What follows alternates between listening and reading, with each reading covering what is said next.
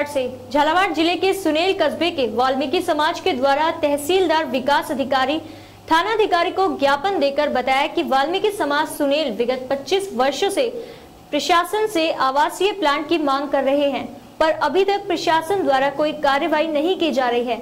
विगत 12 माह से जिला कलेक्टर, उपखंड अधिकारी, तहसीलदार आदि को अवगत कराने के पश्चात भी अभी तक भूमि का आवंटन नहीं किया गया।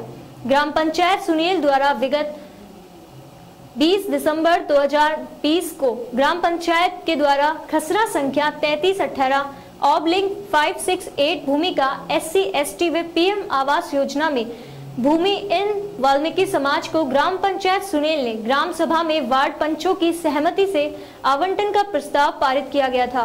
परंतु अभी तक प्रशासन द्वारा कोई कार्यवाही नहीं की गई है, जिससे मजबूर होकर वाल्मीकि समाज के द्वारा 21 दिसंबर 2021 को वाल्मीकि समाज सफ़ाई कर्मचारी के द्वारा हड़ताल की चेतावनी दी गई। आवास ये ये- हाँ, हाँ। इनके लिए के जो भी है।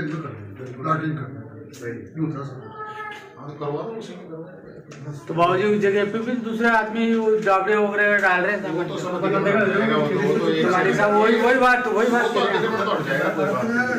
आवंटन तो होगा। आप होगा